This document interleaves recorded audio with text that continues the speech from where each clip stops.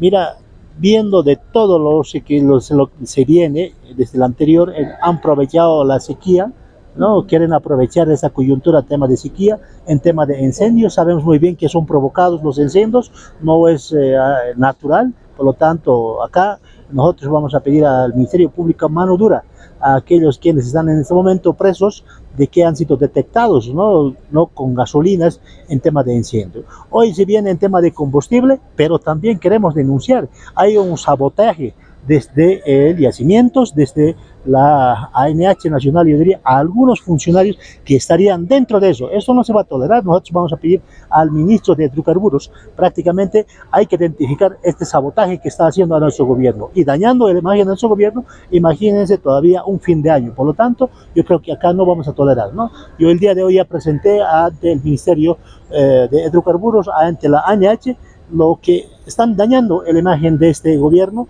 no buscando argumentos de querer desestabilizar a su gobierno.